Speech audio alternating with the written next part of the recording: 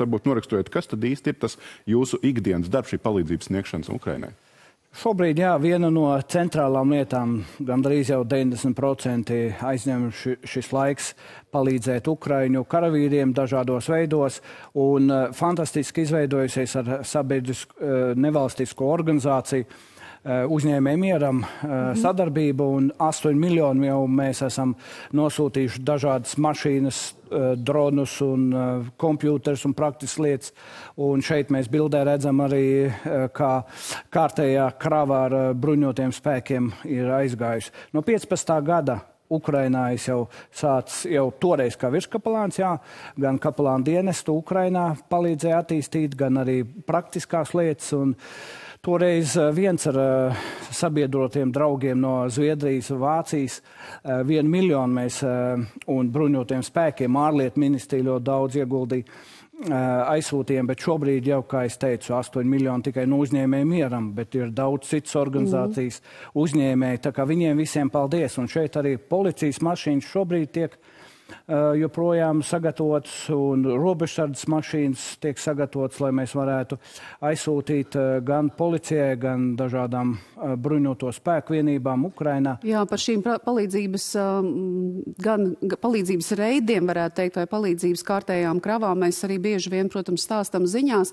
Un vai jūs teiktu, ka šajā mirklī varbūt ir mainījusies uzņēmēju aktivitāte? Kāda tā ir šobrīd pēc tik ilga jau kara norises laika? Viss ir noguruši, bet saprotot arī, ka ir eh, problēmas uh, tur Ukrainā karavīriem ar nogurumu, bet viņiem ir jācīnās ne tikai ar nogurumu, bet arī ar to, lai viņi varētu palikt dzīvi un savā veidā arī mm. mūs viņi aizstāv. Tāpēc ir šī lāčplēša diena, mēs to Latvijas karogu uzliekam arī man namējas podziņa, kur atbalsta uh, dažādas pasākums arī Ukraiņu bērniem, nometnes, uh, un uh, arī šobrīd gaisa spēka drīz vien gatavos arī vienu nometni šeit Latvijā priekš Ukraiņu bērniem lidotāju bērniem.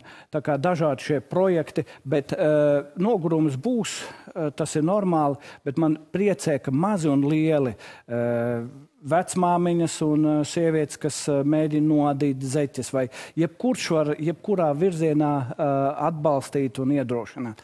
Un šī bilde ir tā Harkovā, kur mums jāatcerās, ka kārtējais karavīrs, kas jau tiek gaidīts un guldīts kapā, diemžēl.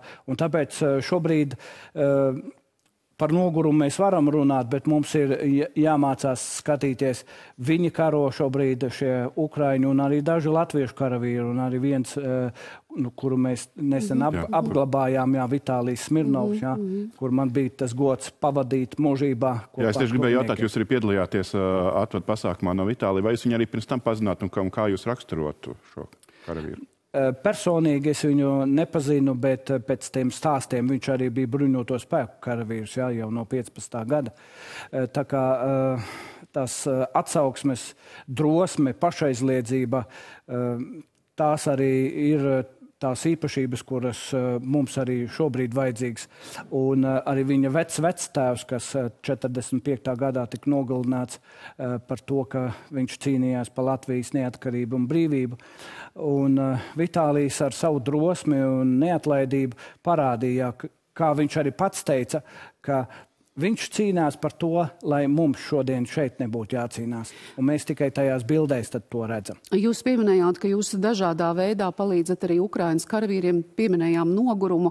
Mēs arī ļoti bieži šeit tiešām uztveram ļoti daudz šos karavīrus kā varoņus, kas viņi arī tādi ir. Un tomēr jūs redzat noteikti arī to smagumu. Kādā veidā jūs kā tomēr tāds virskapelāns esat bijis arī šādi spējat palīdzēt ne tikai organizējot palīdzību un lieliski to nogādājot, bet arī šajā atbalsta ziņā?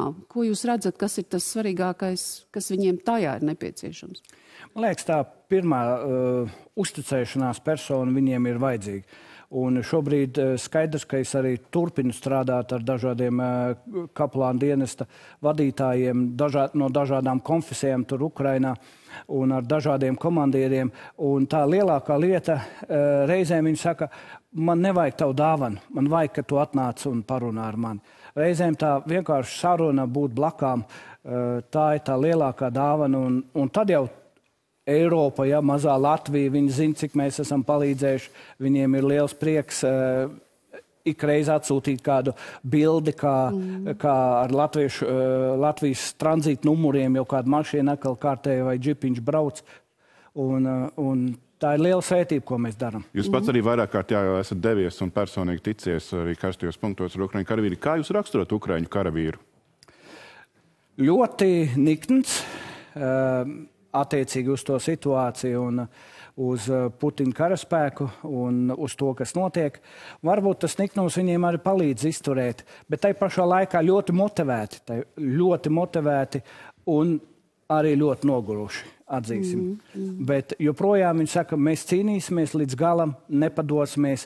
Un uz karavīriem, uz tiem karavīriem Ukrainā skatoties, un uz mūsu pagātni skatoties, uz mūsu brīvības cīnītājiem, vīriem un sievām, mēs tikai varam teikt, mēs nosargāsim šo demokrātiju, mēs nosargāsim Latviju. Un vēlreiz eh, braukājot tur uz Ukrainu, novērtējam, eh, novērtējam to, kas mums ir ka mums ir brīvība, ka mums eh, šīs raķetes šeit nelido, ka mēs varam iet un staigāt, sēdēt tajā kafejnīcā un daudz ko citu brīvi darīt. Tā kā eh, novērtēs. Tad jūsu, varētu teikt, arī novēlējums visiem būtu novērtēt tieši to, ko jūs nu pat minējāt. Jā, novērtēt, novērtēt. to, kas mums ir, un paldies vēlreiz tiem maziem un lieliem uzņēmējiem un caur uzņēmēju mieram, ka mēs varam arī to visu palīdzību tur nogādāt un sagādāt un ejam uz priekšu.